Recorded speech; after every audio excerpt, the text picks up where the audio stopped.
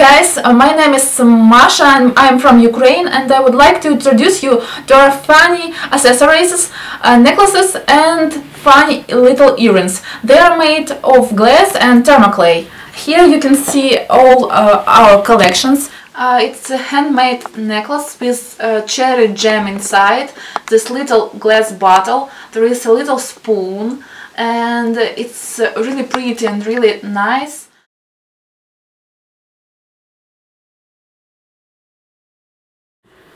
Uh, I like them a lot and you're gonna love them.